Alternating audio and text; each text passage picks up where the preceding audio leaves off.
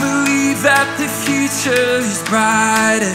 I believe in His promise for me. I believe that He's working and He's not done.